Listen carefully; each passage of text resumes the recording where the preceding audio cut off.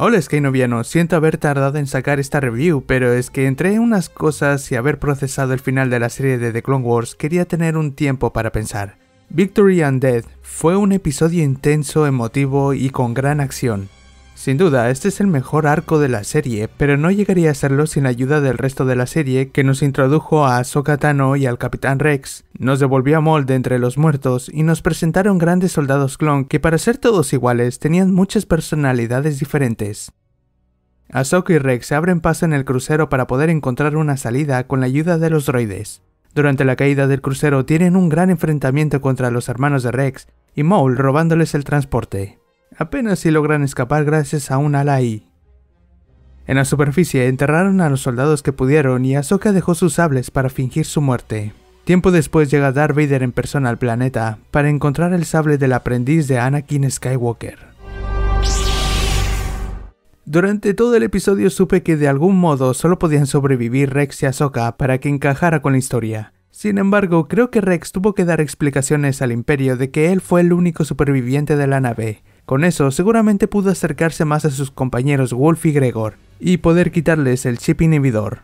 Mientras tanto, Ahsoka tuvo que irse por su cuenta, ocultarse y sobrevivir. A decir verdad, no estoy muy seguro si harán que la novela de Ahsoka sea leyendas o lleguen a ser una reedición como ya dije antes. Su historia en el planeta Rada me recordó demasiado al arco con las Martés, porque justamente conoce a otras hermanas algo parecidas en esa aventura, no digo que no me gustara, pero no me importaría volver a leer una nueva novela teniendo presente esta última temporada, Star Wars Rebels, y dar alguna pista del futuro de Ahsoka.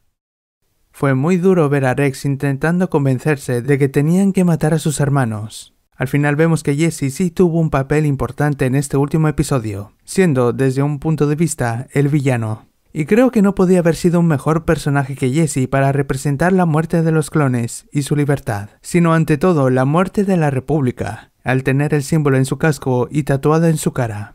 Al final que en el primer episodio de este arco escuché la melodía de Rey, creo que aquí se pudo escuchar la melodía de Jedi Fallen Order, juego que también contó la Orden 66 desde el punto de vista de Cal Kestis.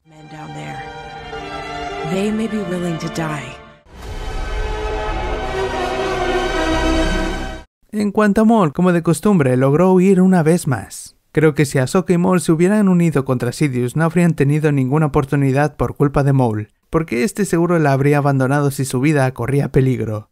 Ahora que sabemos que Dryden Boss ya era la cara pública de Crimson Dawn, seguramente Maul se reunió con él después de escapar o directamente puso rumbo a Dadomir. Su parte en este episodio fue corta pero bastante entretenida. Viendo a Ahsoka enfrente de las tumbas de sus antiguos compañeros caídos, creo que Dave Filoni quiso darle esa túnica gris en forma de funeral y que se acercaba una era oscura, mientras que en Rebels la vemos con una túnica totalmente blanca. Es obvio que se inspiró en el personaje de Gandalf del Señor de los Anillos, pero creo que Dave también quiere introducir algún aspecto nuevo de la fuerza por parte de Ahsoka. Ya que como se ve en el epílogo, con Darth Vader, se puede ver a Morai, el combor que siempre aparece cuando hay algo que ver con Ahsoka, y representando el espíritu de la hija de Mortis, que dio su vida para salvar a Sokka. Con esto, las dos están fuertemente conectadas y creo que es otra teoría loca, pero ¿y si de algún modo la Soka del final de Rebels consigue descubrir algo así como la magia blanca de Star Wars? Sabemos que las hermanas de la noche usan magia sombría, así que la magia opuesta puede existir, ¿no? Y para acabar, hablemos de la presión de Vader. Fue una gran sorpresa sin duda, pero todos sabemos en el fondo que también lo esperábamos. Creo que Vader intentaba asegurarse de que Ahsoka estaba muerta. Lo poco que queda de Anakin en Vader seguramente lo impulsó a visitar la tumba de su antigua Padawan. De haberla encontrado más pronto, creo que Vader intentaría que se convirtiera en su aliada o en la Gran Inquisidora. Porque a diferencia de los demás, recordemos que Ahsoka fue decepcionada por la Orden Jedi al igual que Anakin en Rebels logró hacer dudar un poco a Vader de volver a la luz, pero la única conexión lo suficientemente fuerte era su hijo, Luke Skywalker, hijo de su amada Padme Amidala. Hay muchas cosas que quería ver en este último episodio, como un pequeño vistazo a los protagonistas de Rebels, Rex quitándoles los chips a sus amigos, o puede que a Leia en Alderaan, ya que siempre vemos a Luke en Tatooine.